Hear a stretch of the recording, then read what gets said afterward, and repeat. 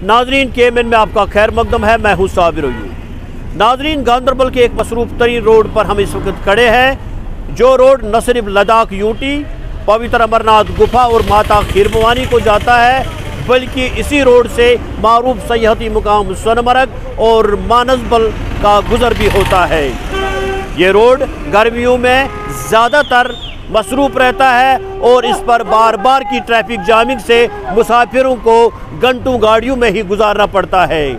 अब चूँकि गवर्नमेंट ने कुछ दिनों पहले बाबा तौर एक ऐलान कर दिया कि 90 फीट यानी पाँच से लेकर वाइल तक 13 किलोमीटर का एक लंबा फ्लाईओवर तामीर होगा, जो फ्लाईओवर लसजन से आने वाले रिंग रोड को वाइल के मुकाम पर जा मिलेगा।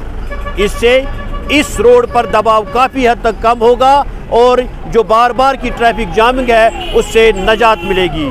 लेकिन देखना यह है कि वाकई तौर क्या ये ट्रैफ़िक जामिंग से नजात मिल सकती है और ये जो फ्लाईओवर है, ये तामीर होगा कि इसको वही बात होगी जो यहाँ के हाइडल पावर प्रोजेक्ट को हुई, जो उन्नीस सौ चौरानवे से अभी तक तामीर नहीं हुआ है। अब चूँकि लेफ्टिनेंट गवर्नर इंतज़ामिया ने ये कदम उठाया है, उम्मीद की जा रही है कि इस पर अनकरीब टेंडरिंग होगी और इस पर काम भी शुरू होगा। केमन के लिए मीर शौकत के साथ गांधरबल से मैं साबिर यू गांधरबल के एक मरूफ समाजी कारकुन, शाहीन गांधरबली मौजूद है, जिन्हें हम पूछेंगे, ये जो हाल ही में गवर्नमेंट ने ऐलान कर दिया कि पांदज से लेकर वाइल तक एक फ्लाईओवर तामीर होगा तो इससे क्या फ़र्क पड़ेगी? बाकी तौर ये बनेगा कि ऐलान तक ही महदूद होगा, और इसमें क्या गुंजाइश है और क्या होना चाहिए? देखिए, जहाँ पे ये फ्लाईओवर का ताल्लुक है आज गांधरबल में गूंज हर तरफ़ है कि यहाँ एक फ्लाईओवर बन रहा है और जमकम साहब ने इसके बारे में ऐलान भी किया था वहाँ पे। अगर वाकई ये कोई प्लान है गवर्नमेंट के पास, ये सबसे बेहतर प्लान है, न कि गांधरबल के लिए, बल्कि ये लद्दाख के लिए भी बहुत अहम एक प्रोजेक्ट होगा। Ganderbal is a gateway of Ladakh और यहाँ पे जो शरणार्थी आ रहे हैं या ये हमारे पास जो यहाँ पे केव के लिए यहाँ पे लोग आ रहे हैं।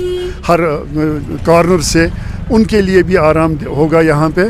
तो एक ये मुतवाजल एक ऐसी सड़क बनेगी जो सेफेस्ट होगी फॉर गांधरबल के लिए। It will add the beauty of Ganderbal at the same time ये सोशो इकोनॉमिकल एक लिफ्ट अप होगा गांधरबल इस इस तरह से, जो आज तक कभी हुआ ही नहीं। It will be a historical step और ये होना चाहिए किसी भी सूरत में। और इसके साथ साथ जो रोड वाइडिंग का मसला है रोड वाइडिंग यहाँ पे तो ये बहुत मुदत से एक अहम मसला रह चुका है। अगर इसके साथ साथ रोड वाइडिंग भी हो जाए, फिर गांधरबल में कभी सोनमरा गांधरबल या लद्दाख के लिए कभी कोई जैमिंग नहीं होगी। ट्रैफ़िक के लिए एक बेहतर रास्ता मिलेगा सोनमर्ग लद्दाख के लिए भी। तो रोड वाइडिंग साथ साथ होनी चाहिए इसमें। चूँकि जो हमारे पास ये है फ्लाईओवर होगा, इसका ज़्यादा टाइम लगेगा। तो इसलिए बेहतर है पहले रोड वाइडिंग पर ज़्यादा ध्यान दिया जाए। उसके साथ साथ अगर यहाँ पर फ्लाईओवर बने it will be a nice step for development road widening के साथ साथ भी अगर इस मंसूबे को अमली जानमा भी पहनाया जाए तो ये गांधरबल के आवाम के लिए ठीक रहेगा। लेकिन इसमें कोई चारा नहीं कि देखो और इंतज़ार करो की पॉलिसी गांधरबल के एक मरूफ एडवोकेट रमीज़ राजा साहब है। जिन्हें हम पूछेंगे कि ये जो फ्लाईओवर हाल ही में गवर्नमेंट ने ऐलान किया है, क्या इससे वाकई तौर फ़र्क पड़ेगी? चलो सुनते हैं इनकी ही ज़बानी। असलकम वरहमतुल्लाह। ये जो हाल हाल ही में जो हमारे डिविजनल साहब डिविजनल कश्मीर साहब ने अनाउंस किया है कि जो 90 फीट से हम वाइल तक जो फ्लाई ओवर शिफ्ट्स में बनाएँगे, जैसे उन्होंने, उनको अच्छा लगेगा, जैसे उन्होंने ये तय किया है कि हम बना लेंगे। इन ऑर्डर टू जिसकी वजह से हमें जो ट्रैफ़िक मेस है, उसमें नजात का एक सामना, नजात मिलेगा। हमारे यहाँ पे गांधरबल में बहुत ज़्यादा सुबह और शाम के टाइम ट्रैफ़िक का मसला होता है। लोगों को गाड़ियाँ नहीं मिलती हैं, या तो ट्रैफ़िक जाम में फंसना पड़ता है।